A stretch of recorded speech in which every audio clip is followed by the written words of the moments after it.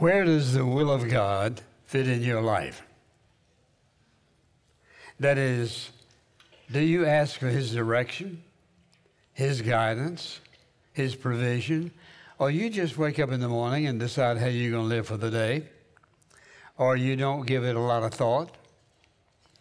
You just sort of one of those persons who sort of walks in the same tracks every day.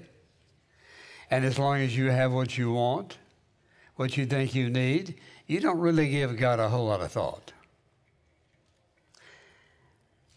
When I think about that and I think about how people operate without God in their life, I'm brought back to when I first came to First Baptist, I came as an associate pastor. And um, there were 60 deacons, and there were seven men who ran everything. And so, since I had no authority, I was of no danger to anybody, and uh, they would let me sit in on their meetings. And uh, so I was sitting in on this meeting, I'll never forget. And um, they got a little bit of an argument and discussion. They couldn't make up their mind, they couldn't make a decision about something. And this just went on probably for 45 minutes or longer. And I thought, we're not getting anywhere.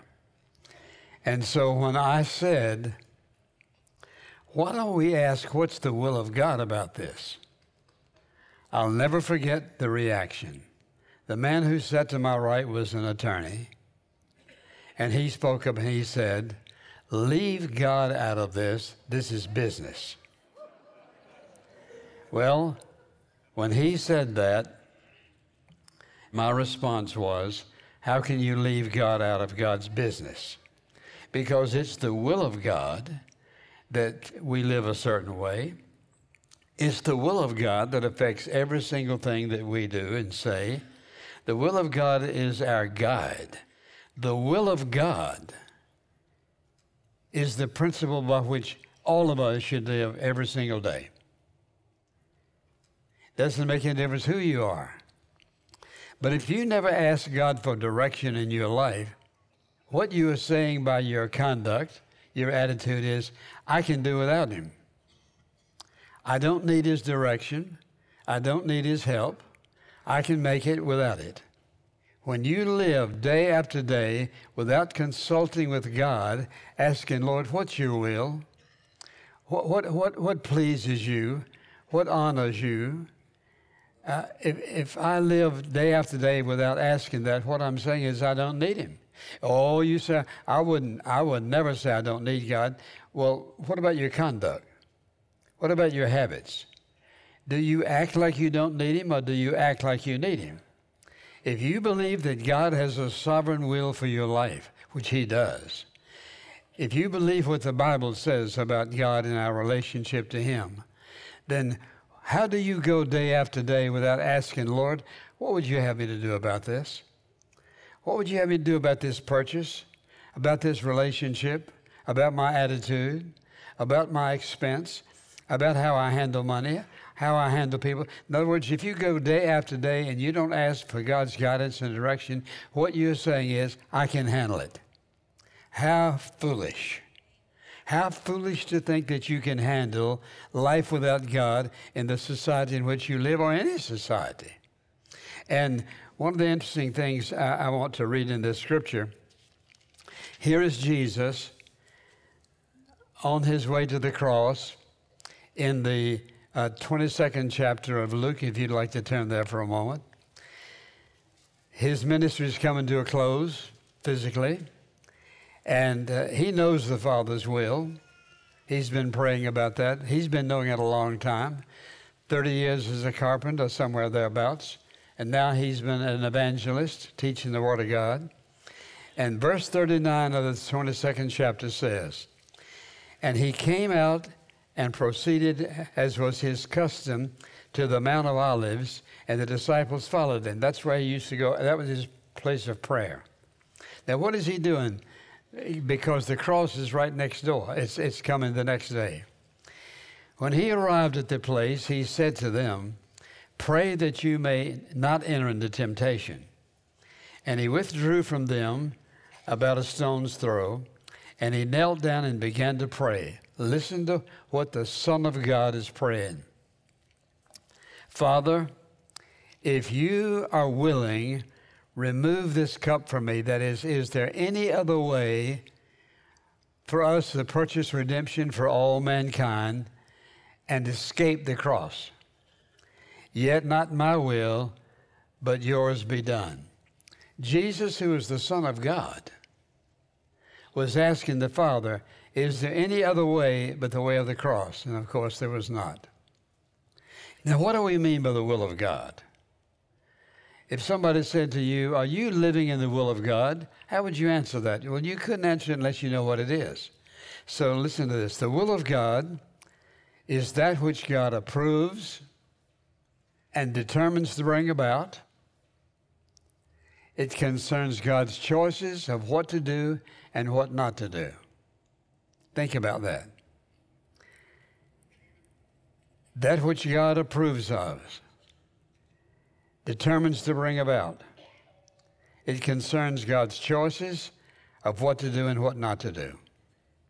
When is the last time you said, God, what do you want me to do about this? God, what about my relationship to her or to him? God, what, what about my job? Lord, what, where do you want my kids to go to college? Lord, what about my relationship to this man or to this woman? Lord, uh, what, what about where you want me to live? Lord, what, what about changing jobs? When is the last time you opened yourself up to holy God who knows everything and has your best interest at heart? When is the last time you opened your heart to Him and said, Lord, show me your will? What, what would you have me to do? There are many people who don't think they need the will of God. They're living their lives according to the way they want to live it, but they're miserable.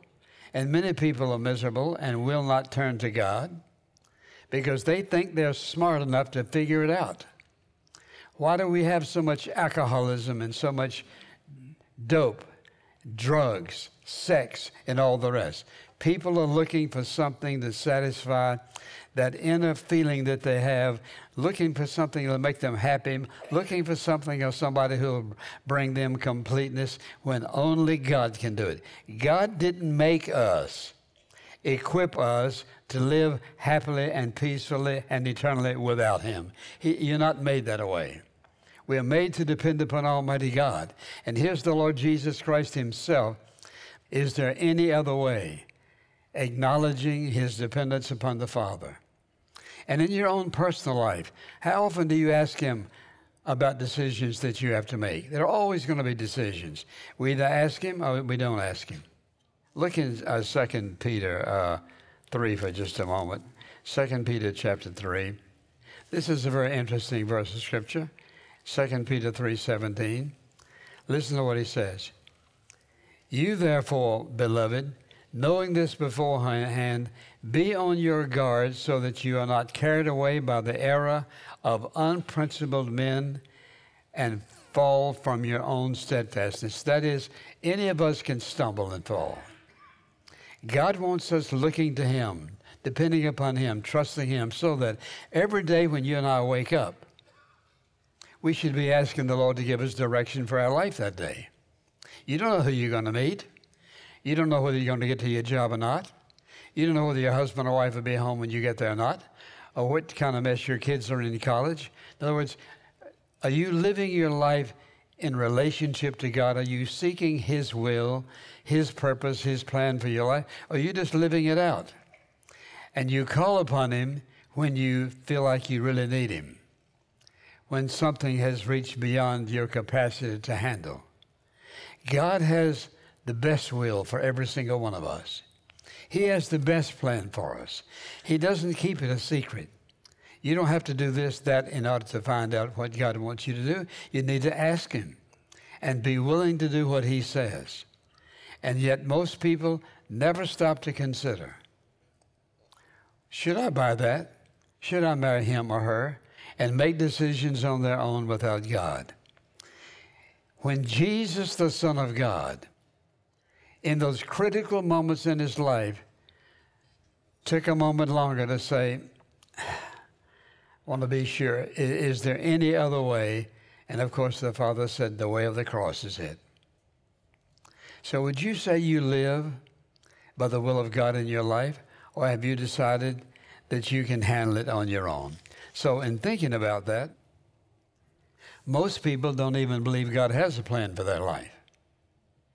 And I've asked many people, Are you living in the will of God for your life? Well, what does that mean? And I think about living your life and not considering Him unless you get in trouble, unless you're bleeding, unless you're dying. What about the will of God for every day? If you want God's best every day, you don't leave God out. You make Him the priority of your life for that day. And yet, most people are not going to do that. And think about this God has a plan for your life. You say, well, uh, what's, what's God's plan for my life? I don't know the answer to that. He calls us all to do different things, He gives us all different capacities and abilities and talents and skills in life. He's willing to show you who to marry. He's willing to show you where to send your kids to college. He's willing to show you what to buy, what not to buy. He's willing to show you how to dress, not to dress. And so God involves himself in our life every single day. It's the will of the Father.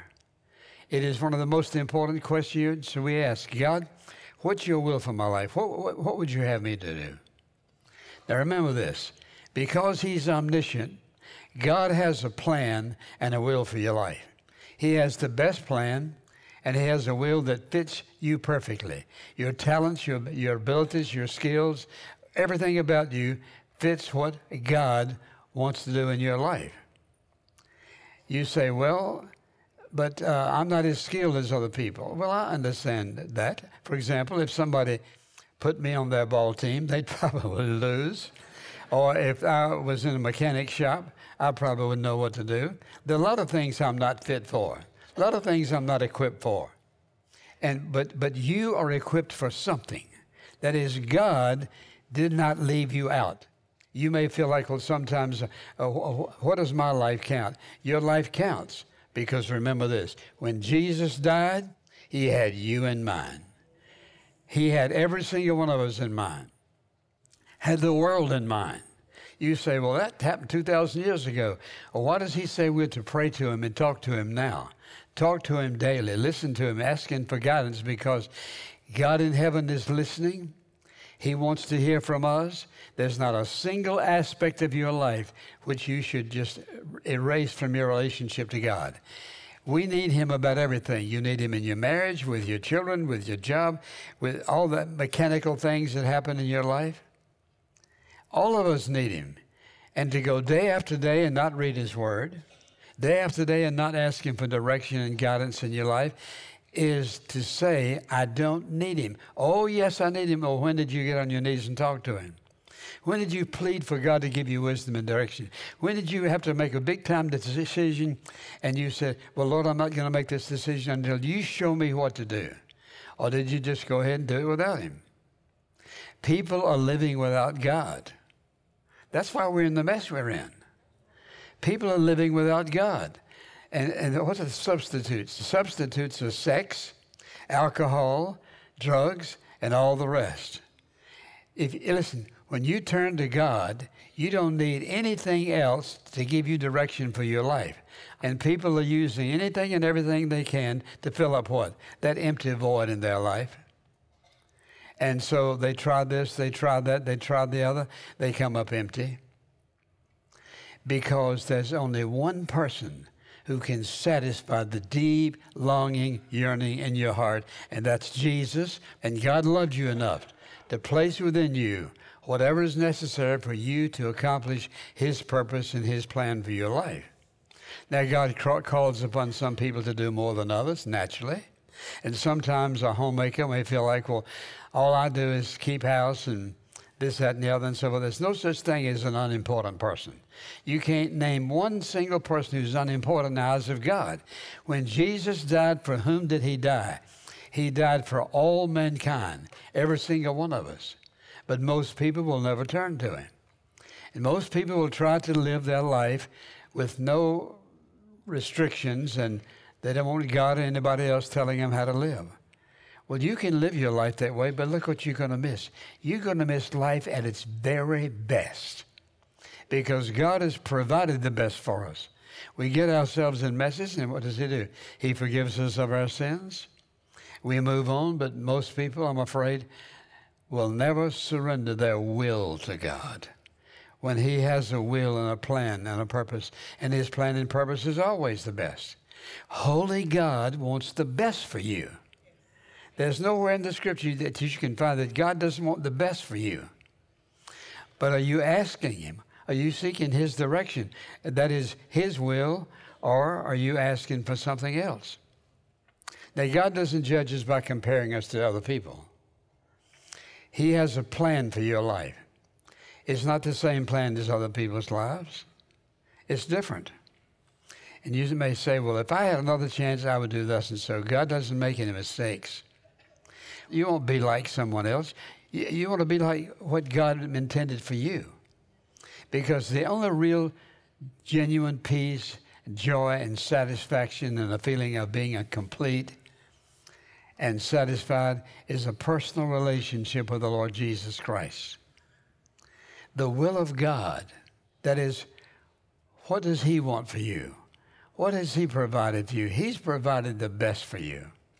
That some of you were saved very early in life, some a little bit later. You say, well, when does God's will begin? it began in the beginning. And God doesn't plan the same for all of us. But whoever we are, wherever we are in life, seeking the will of God, the mind of God, the purpose of God, the plan of God, what does He want in the next step in your life? You have children, you have grandchildren. When's the last time you ever brought up the subject? Listen to me carefully. Very early in that child's life, you should be introducing them to this truth that God has a will and a plan for your life. And I can remember, as soon as my two children were born, I'd get down by the bed every night that I was home, and I'd pray this prayer show Andy, show Becky your will for their life. And I'd say that to them over and over and over again. You ask God to show you His will for your life. Ask God to show you His will for your life. They grew up believing that. And you just look, look what's happening in the colleges, and look, look, look what's happening, all the drunkenness and sex and all the mess. You know what they're looking for? Looking for something to satisfy them. Gramps, grandmother, granddad, mom and dad, you have a responsibility to introduce your children to Jesus Christ. And not only that, you need to be a part of their life, interfering in their life, interjecting your opinion in their life, reminding them that they cannot be a success at what God's called them to do apart from Jesus Christ. They may make a lot of money. They may do a lot of things. The, the world may think they're absolutely fantastic. I think about all these people who can't even count their money. But you can count on this they're unhappy. Without God, you can't make enough money. You can't, listen, when you're living in sin, you can't do anything until you deal with the sin problem. And this is why there's so much of all the other stuff that we're talking about. God loves you. He has a will and a plan for your life. You say, Well, I'm 50 years old and I just got saved. What's God's will? He takes you where you are, and listen, He knows how to overcome your past. Erase all the mistakes? No. But what he'll do is enable you to overcome the mistakes, enable you to get a different view on life, to enable you to have a relationship with Jesus Christ that will amaze you. Everybody makes mistakes. Everybody's sinned. Everybody has fallen at times about some things. God wants the best for us, listen, through the last day of our life. Isn't it interesting what God has to do sometimes to get us to think and to think wisely and to think soberly? And to ask the right questions. God's what's your will for my life? How often do you pray for your children and grandchildren and pray, God, show him your will for his life. Show her your will for their life. Don't let them marry the wrong person. God help her to marry the right fellow. And sometimes grandparents and parents need to get right in the middle of their life. You say, well, you know what? They're old enough to make up their own mind. They may be old enough, but not mature enough. Well, listen, without God, you're not mature. I don't care how old you are. You're not mature enough to make wise decisions about marriage and money and sex and all the rest without God. Evident, look around you. Look what's happening. We have a society that's in chaos because we think we can do without God. And sometimes when you mention God, what happens? Well, don't give me that church stuff. I'm not giving you church stuff. I'm giving you the stuff about which you need to start thinking because you're going to meet him one day. And the Bible says it's appointed unto man once to die, and after this, the judgment. Life is serious business. And God wants to be in the center of your life. He wants to be at the hub of your life. He's willing to give you guidance. He's willing to show you the truth, but you've got to surrender your life to Him. I'm just simply saying that life is serious. It's serious about your children, serious about your grandchildren, serious about their future, who they marry, how they live their lives. Life is serious business. And Jesus intends for you and I to live our lives in submission to His will because that's what's best. Do you think that God would have a plan for your life that would just be horrible? No, He wouldn't. Does it mean your plan, His plan is always easy? No. There are many people who go through very difficult things in life. It doesn't mean that God doesn't care. It doesn't mean they're out of God's will. But it means that God has trusted them in a situation, and a circumstance, that they have to depend upon Him in ways that maybe some of us don't. And so when I think about what's the will of God, that's the question every single one of us should ask. So I may ask you this question When's the last time you said to Him, Lord, what's your will for my life at this point? I've lived this long. What's your will for my life at this point? I've outlived most all of you. That's my that's part of my prayer every morning, Lord. Show me your will for today. Don't let me miss anything that you have in mind. We never get too old to ask God, Lord, what's your will for my life about this? What would you have me to do? That's the best way to live. It's the only way to live. And certainly it's the safest way to live in the society in which you and I live.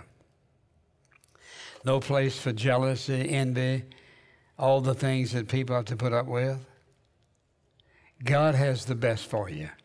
So I was simply asking you, uh, is that what, is that what you're doing? You're living in God's will for your life?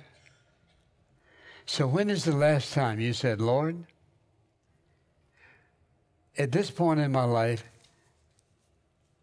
am I in your will? Lord, what do you want to change in my life? When you ask God what He wants you to change in your life, remember this He does not turn a deaf ear. He wants the best for you. Part of the problem is we don't think God wants the best for us. What we do is we want to say, well, if I had grown up with him, if I had grown up with her, if I'd have grown up rich, if I'd have grown up this, if I if I'd have had this, if I'd if I'd if I'd if I'd and if I'd doesn't get you anywhere. What gets you somewhere is God. What's your will for my life now? You say, well, I've made mistakes, so uh, there's no hope for me. Yes, there's hope for you. It begins with confession, repentance, and the surrender of your life to God. Listen to me carefully. If you're listening, say amen. amen. You can't get in a mess God can't get you out of. It may be painful, but He'll get you through it. God loves you. He knows why we make mistakes. And I'm saying to you, friend, you're going to make a mess of your life if you don't trust God to give you guidance and direction for your life. No one can guide you like God can. He knows everything about you. He, know, he knows the handicaps in your life. He knows the things that you've missed. He knows the desires of your heart. He knows that you don't have what some other people have, but He knows why He created you. And He wants you to have a sense of fulfillment in life. He does not want you miserable. He wants you to have a sense of fulfillment in life. You reflect Him if you trusted Him as your Savior.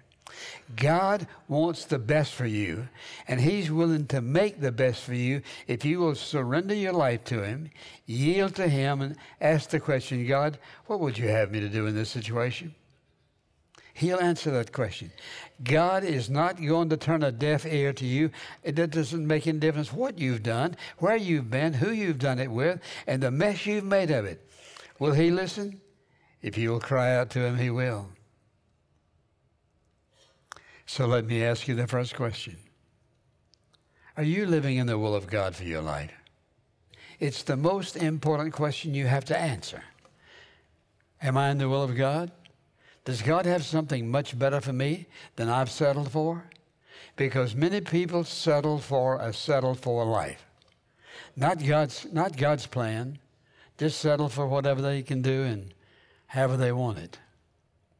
But it begins with this whole issue of surrendering to the will of God.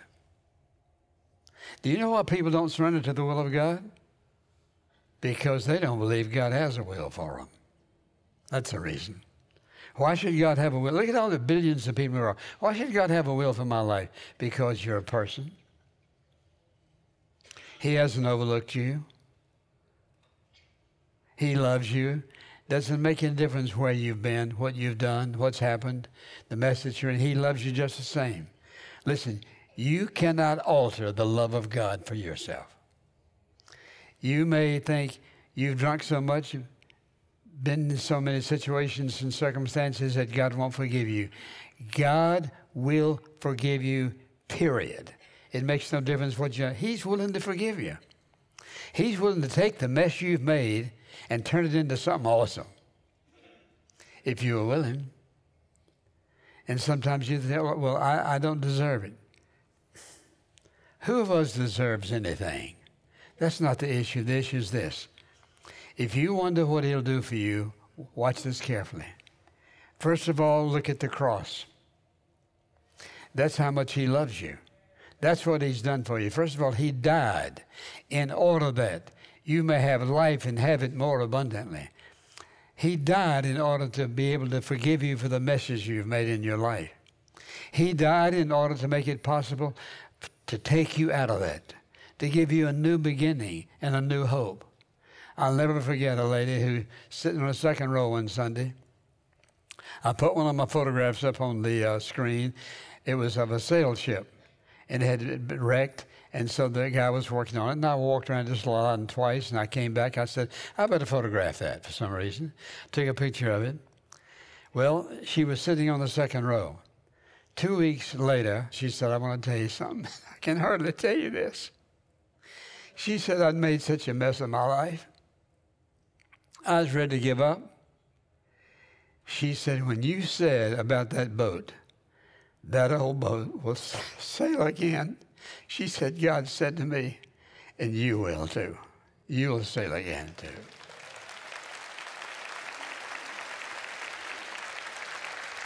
And I can say to you this morning, you've just heard the truth, that's all. It may have been comforting or very discomforting, but I plead with you in Jesus' name do not ignore what you've heard because you have an opportunity for God to change your life starting today. I'll tell you one more story. I purchased a car in another state, and so they had to bring it to me. It's not because I couldn't have bought it here, it just happened to see what I wanted there. And uh, so they brought it to me on this truck, and it was all covered up, and this fellow uncovered it, and, and um, I can hardly tell you this. When he got my car uh, in the garage, he said, Dr. Stanley, I want to tell you something. I was in prison. I'd really messed up my life. And we could listen to tapes and sometimes radio. He,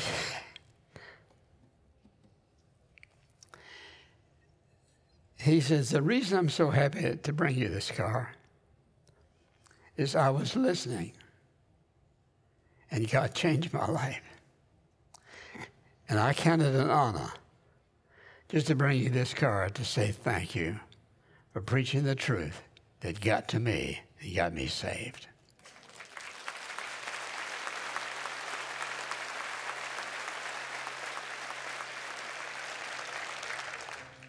And God will save you if you let Him. He'll change your life if you let Him, and that's my prayer. Amen. Father, we love you and praise you and thank you. that your goal is not to judge us, but to love us. Forgive us for our sins. Give us that awesome second chance. You didn't say we had to deserve it. You just said surrender. And I pray that every person who hears this message will not be able to escape, not be able to escape the truth, and be wise enough to surrender their life to you. I pray anyone seated here, unsaved, would confess their sins to you, Lord, surrender their life, give them a new beginning. And anyone watching or listening, wherever they are in the world, will realize that you are there too. You'll do for them what we said, no matter what, no matter where they've been, no matter the mess they've made of life. You're the God of a second, third, fourth, fifth, tenth chance. I pray that you will bless every person who turns to you, Lord. In Jesus' name, amen.